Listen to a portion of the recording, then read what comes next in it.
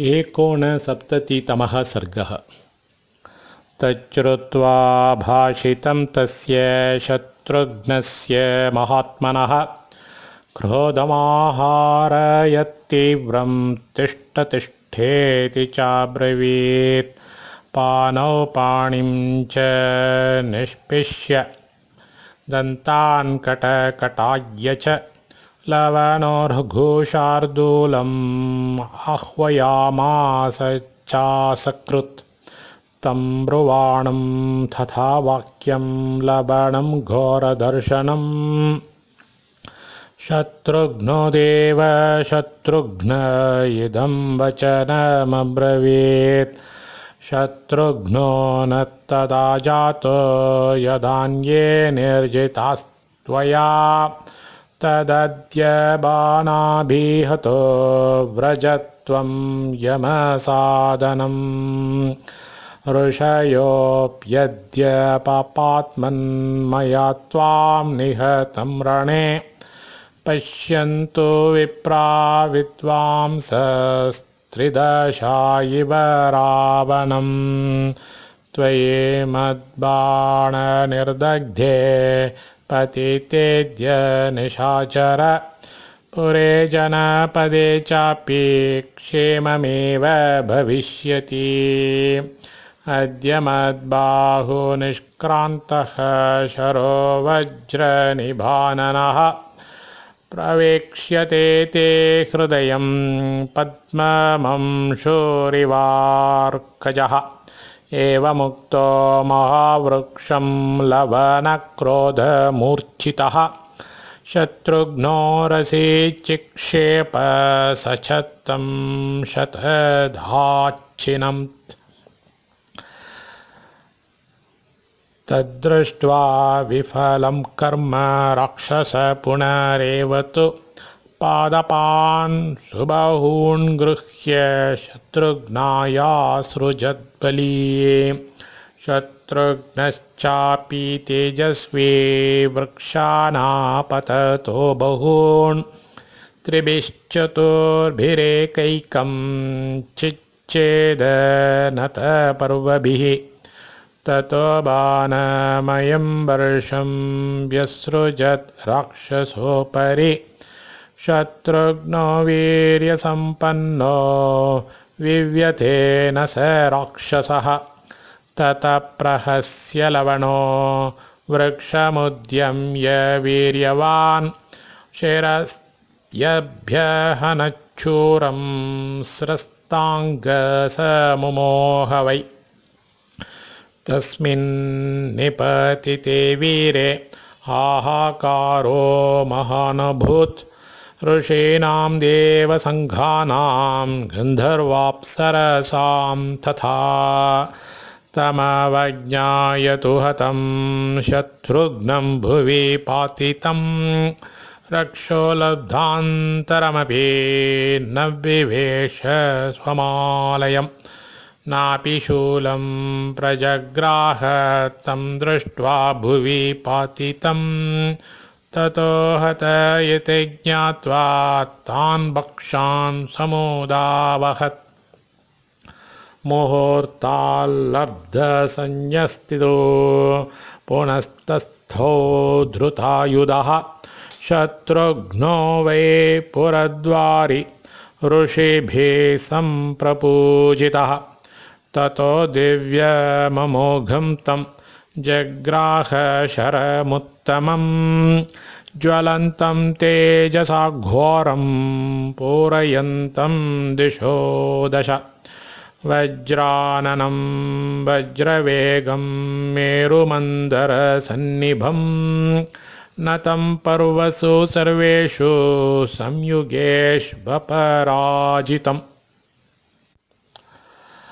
अश्रुचन्दनदिग्धाङ्गं चारुपत्रं पततृणं दानवेन्द्राच्चलेन्द्राणाम् असुराणां च दारुणं तं दीप्तमिव कालाग्निं युगान्ते समुपस्थिते।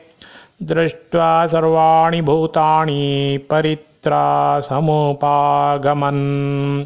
स देवासुरगन्धर्वं मुनिभिः साप्सरो गणम् जगद्धि सर्वमस्वस्थं पितामहमुपस्थितम् उवाच देवदेवेशं वरदं प्रपीतामहम् देवानां भयसम्मोहो लोकानां संक्षयं प्रति। कच्चिल्लोकक्षयो देव सम्प्राप्तो वा युगक्षयः नेदृशं दृष्टपूर्वं च न श्रुतं प्रपीतामह। तेषां तद्वचनं श्रुत्वा ब्रह्मालोकपितामहः। भयकारणमाचष्ट देवानामभयङ्करः।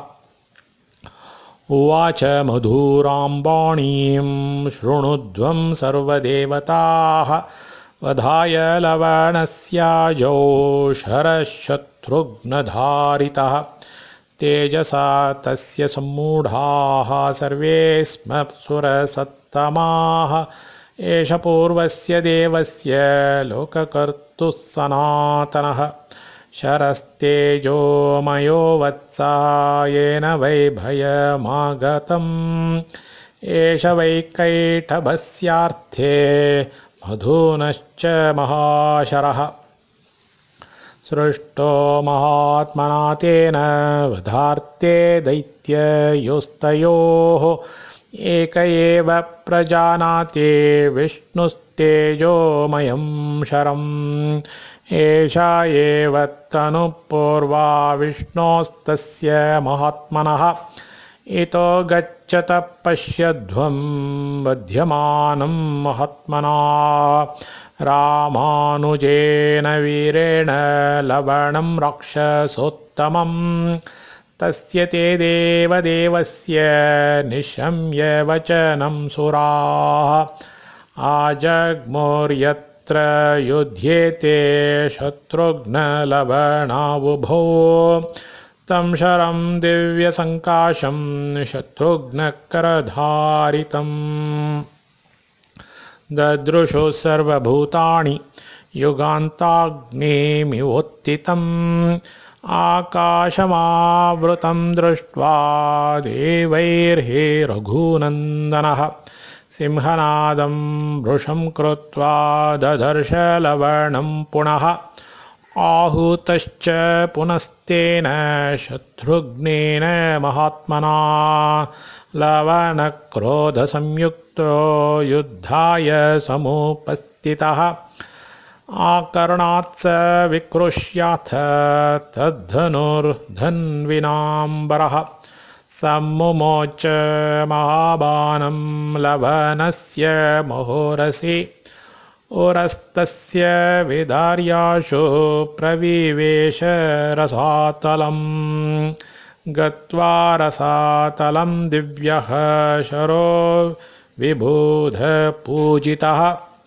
पुनरेवागमत्तूर्णम् इक्ष्वाकुकुलनन्दनं शरनिर्भिन्नो लवनस निशाचरः पपात सहसा भूमौ वज्राहत इवाचलः। तच्च शूलं महद्दिव्यं हते लवणराक्षसे पश्यतां सर्वदेवानां रुद्रस्य वशमन्वगात्। एकेषु पातेन भयं निपात्य लोकत्रयस्यास्य रघुप्रवीरः। वेनेर्बभावुत्तमचापबाणस्तमप्रणुद्येव सहस्ररश्मिः। ततो हि देवा ऋषिपन्नगाश्च प्रपूजिरे ह्यप्सरसश्च सर्वाः। दिष्ट्या जयो दाशरथेरवाप्तस्त्यक्त्वा भयं सर्प इव प्रशान्तः। इत्यार्षे श्रीमद् रामायणे वाल्मीकि आदिकाव्ये उत्तरकाण्डे एकोनसप्ततितमः सर्गः।